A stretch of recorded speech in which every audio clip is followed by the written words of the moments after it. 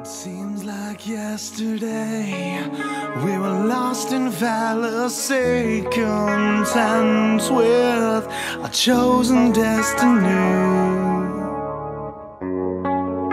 I didn't see things change, somehow become estranged. Our paths were led astray.